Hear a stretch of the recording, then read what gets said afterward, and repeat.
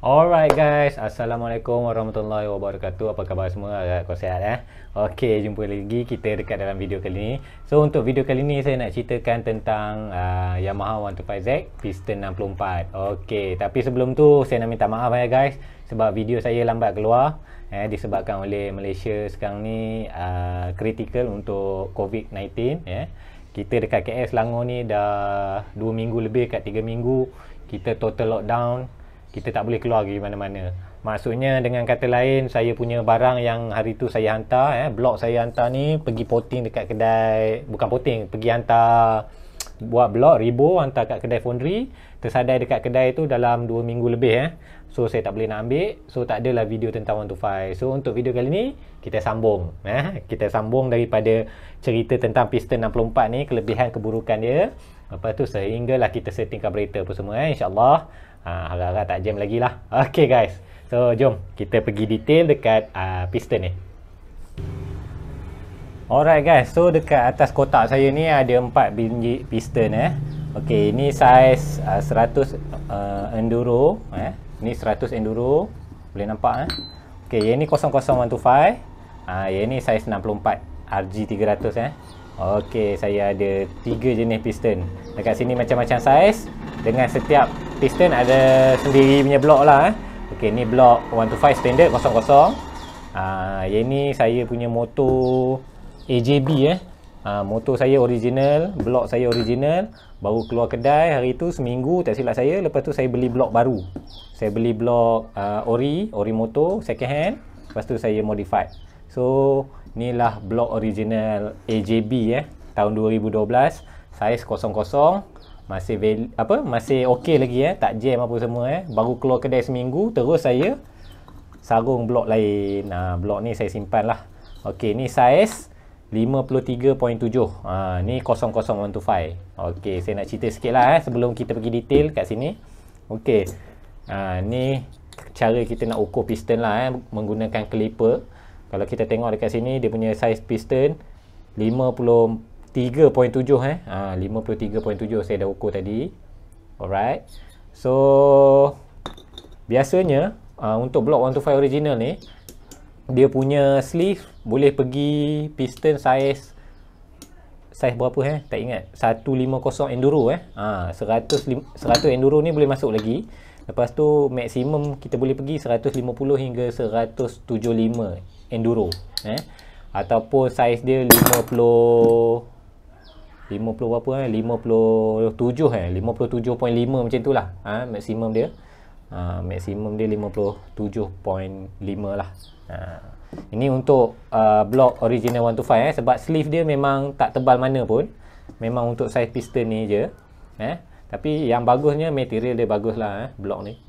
Okey seterusnya uh, saya ada piston uh, saiz 100 enduro. Ha ni piston 100 enduro lah mana-mana motor setting highway semua kebanyakan kita guna enduro eh daripada 00 enduro sehingga ke 150 enduro untuk blok original 125 ha original eh? Kalau blok racing ni dia lain sikit dia boleh pergi besar eh okey. So ni piston ni saya pun baru beli hari tu.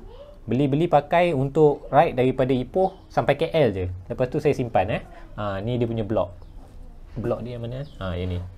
Ni dia punya blok eh, baru lagi ha. tak kotor pun lagi dia punya blok eh. Ha, trip ni semua saya buka balik. Start dia start apa? Batang ni semua saya pakai balik. Saya buka balik. Ha, ni blok yang saya beli IKK turbo saiz 57 ha, ni memang datang saiz 57 eh. Ha, sleeve dia boleh pergi sampai tak silap saya 61 mm eh. Ha, tak silap saya boleh pergi sampai 61 mm dia punya sleeve ni lah. Kalau kita up piston dia boleh pergi 57 sehingga 61 61 eh.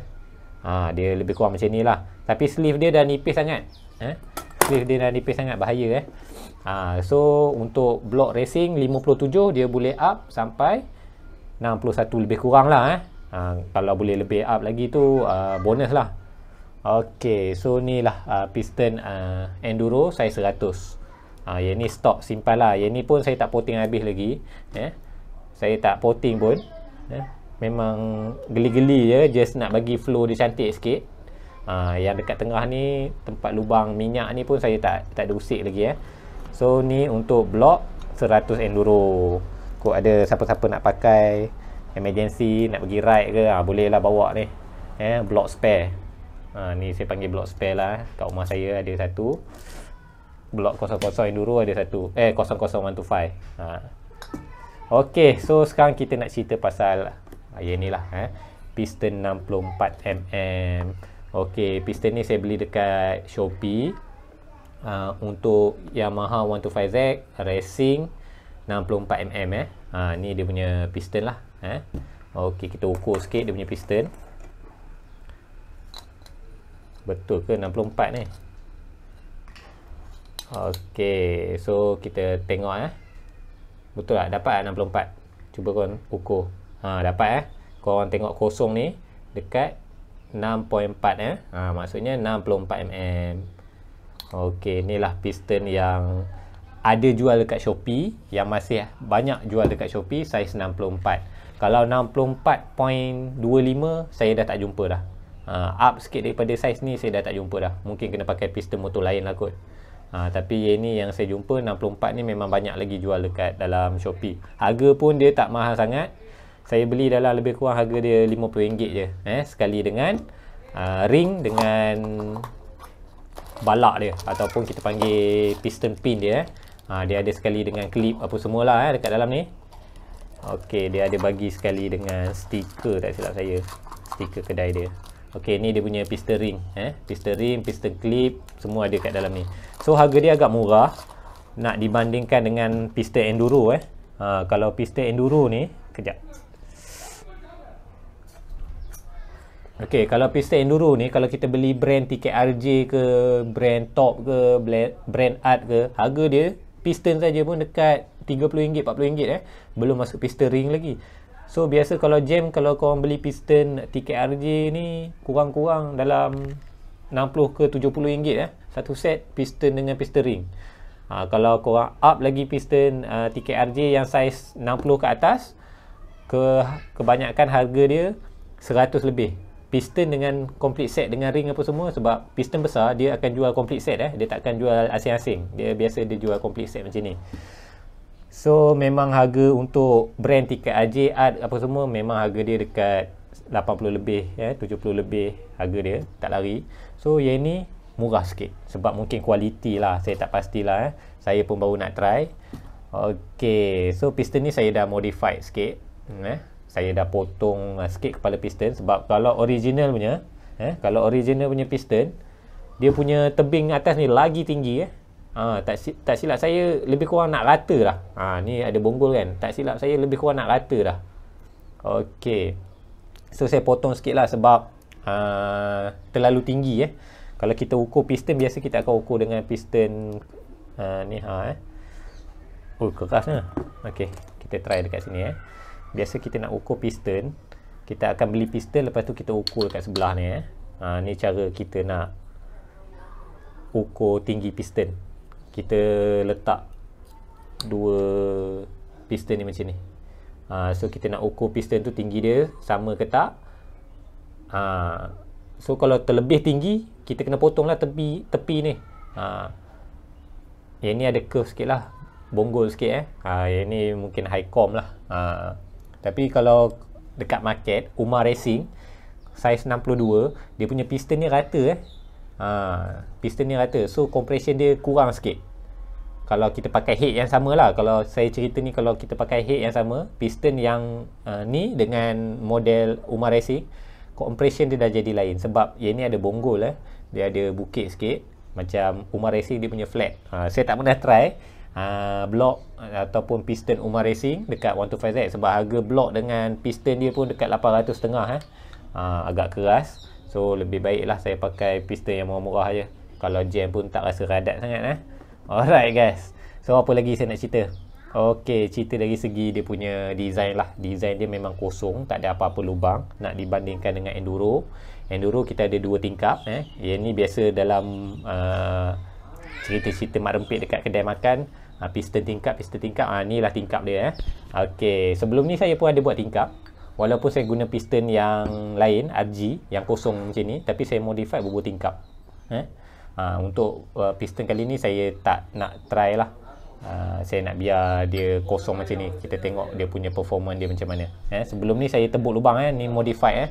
Piston sebelum ni saya modify dalam ni pun saya modify. Saya bagi ringan sikit sebab piston ni berat eh. Piston ni berat eh. Ha, nak dibandingkan dengan piston yang kecil ni saiz kecil ni ha, yang ni ringan je. Ni sangat ringan. Yang ni berat juga tapi yang ni lagi berat sebab dia punya kualiti apa material dia eh. ha, dia punya saiz tu dah tentulah besar kecil kan. Ha, dia punya piston ni memang berat. Ha, yang ni memang berat. So dari segi efek dekat motor mungkin korang punya grand sub tu nak kena setting balik lah ha? Takut grand sub tu untuk kayuhan dia piston kecil tiba-tiba korang masuk piston besar ha, dia memberi sikit tekanan kepada grand sub lah ha? uh, elok pakai pist, apa gresat yang berat-berat sikit supaya dia boleh bawa piston besar ni. Uh, tu orang kata idea lah idea. Uh, saya nak kata betul tak betul tu saya tak ada buat uji kaji tapi fikir logik lah eh.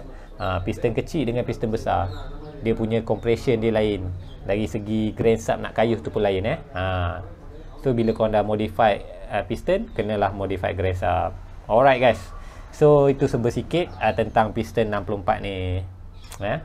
So So guys, itu saja untuk video kali ni eh. Untuk piston 64 ni dah siap. Block pun dah siap. Eh. Uh, head pun dah siap. Okey. Eh. Head pun dah siap. Okey ni head size 64 eh untuk spek 64. Saya tak tahu lah compression dia berapa. Tapi kalau korang tengok saya punya head ni dia punya tebal dia memang saya beli standard uh, lepas tu saya hantar dekat pomen saya nama Asri dekat Ipoh uh, ni nama Asri ya thank you Asri uh, dia yang buat cutting head ni so saya just modify ikut size piston je lah saya besarkan sikit dia punya diameter dekat luar ni untuk spek 64 eh. Uh, dari segi potong uh, head tu saya tak ada usik lah eh. uh, memang saya tak ada usik saya minta kedai tu buat yang dalam je eh. Ha, lepas tu kalau contohlah compression dekat sini uh, dia punya nilai CR dia dengan ni kalau korang kira mungkin tinggi so cara korang nak counter korang tebalkan head ha, korang pakai head tebal sikit ataupun korang buka kawal dalam ni bagi dia besar sikit so kat situ korang boleh main compression dia eh. Ha, mungkin uh, piston besar-besar ni compression dia tak boleh tinggi sangat eh. kalau compression tinggi dia cepat panas. Ha, sebab dia punya sisi dah besar. Tapi sistem penyejukan dia eh sistem penyejukan dia maksud saya sistem mana blok dia? Ha, okey ni. Dia punya sirip ni still standard. Ha, kalau macam korang tengok Y suku LC eh motor-motor 4 stroke biasanya kalau dia dah modify piston besar dia akan dia akan tukar sistem dia punya water pump dia. Maksudnya water pump punya gear apa semua maksudnya air dia lagi cepat radiator lagi besar kalau ada radiator kan. Ha, tu ciri-ciri untuk piston besar lah eh. bila piston besar ni high compression so engine cepat panas. So korang kena upgrade korang punya sistem penyejukan. Tapi macam 125 kita, saya upgrade uh, piston besar-besar tapi sistem penyejukan saya still sama. So that's why lah saya punya motor selalu jam. Eh ha, ni salah satu jugalah eh. Bila kita dah pakai piston besar-besar ni kena selalu beringat lah eh. Kalau nak setting minyak lebih pun tak cukup lebih dah. Dah terlalu lebih dah eh. Bila bawa pelan dah makan pelak pula eh. Pelak kong bila setting minyak dah okey long distance kita lock lama-lama jam panas pula ha, itulah ke antara keburukan piston besar ni eh ha, dia punya compression terlalu tinggi So uh, pengalaman saya piston-piston yang untuk highway standard uh, kita pakai enduro pun dah cukup sebenarnya eh. Uh, kita pakai enduro pun dah cukup sebenarnya eh. Okay guys. Itu saja untuk video kali ni yang saya boleh share lah sebab ilmu saya pun tak banyak eh. Cukup-cukup untuk cerita macam ni je lah eh guys. Okay guys. So stay tune guys untuk next video. Kita akan continue untuk pemasangan uh, piston 64 dekat Yamaha 125Z saya. Alright? Ok stay tune sehingga kita jumpa lagi. Stay safe stay home. Bye bye jumpa next video